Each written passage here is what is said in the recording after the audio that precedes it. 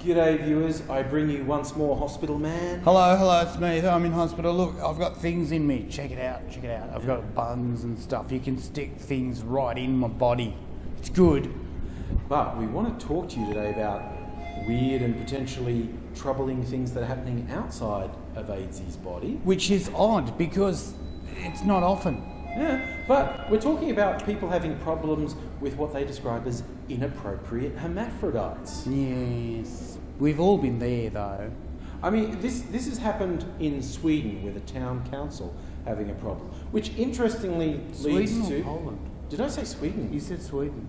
I want to start again now. No, don't start again. Let's No? not start again. Let's right. just cruise through because what what I would like the viewers at home to know is that occasionally AIDzee picks up mistakes. Yeah. All the time, angry is the one with facts, but occasionally, just once in a while, just in incy spincy wine wincy spider goes up the water spout, AIDzee gets flushed down with the rain.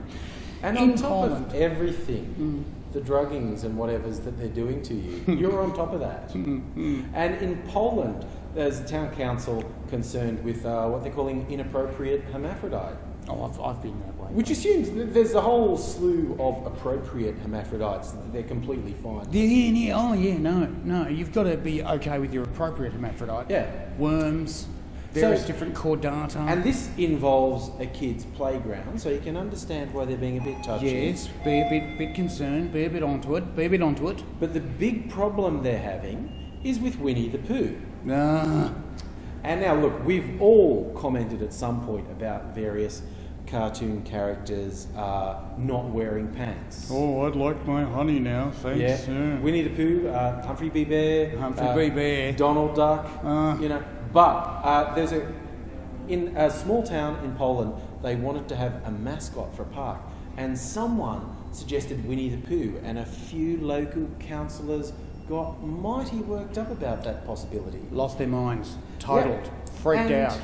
They're like, they have a problem, not just that he's not wearing pants. And he's not wearing pants. He's not. Let's That's- face it, Winnie the Pooh is not wearing pants. They're not making stuff up when they say that. No. Um, but then I'm not wearing pants. Check it out. But you know, it's okay.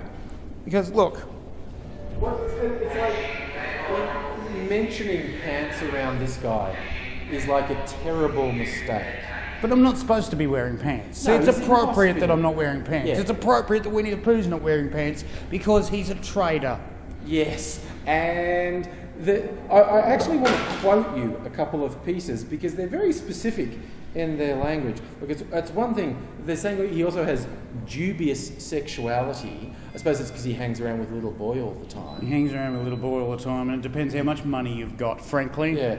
That's what his sexuality is. Apparently, there's a, a local Polish fictional bear who's fully clothed, who these councillors believe sets the trend. Well, yeah. If he's fully clothed, what are we talking about this filthy English bear with, with, no, with pants? no pants, who hangs around toilets, hands mm. out boiled lollies. I think you know what I'm saying.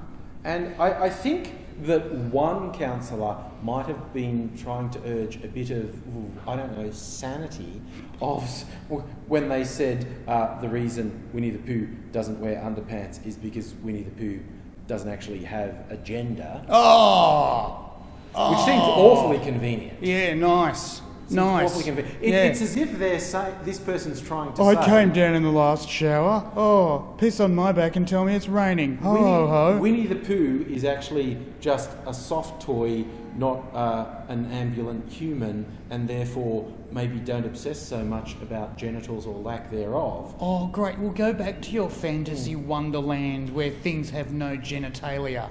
But one councillor is having nothing to do with it, and I want to find again. It's really important to get this type of quote Just right, really. accurate because it's pretty um, strange when one councillor whose uh, name is apparently Hannah Jakminska uh, said it wasn't enough to go on about Winnie the Pooh, actually went against the author A.A. Milne and said, This is very disturbing, but you can imagine the author was over 60 and cut Pooh's testicles off with the razor blade because he had a problem with his identity.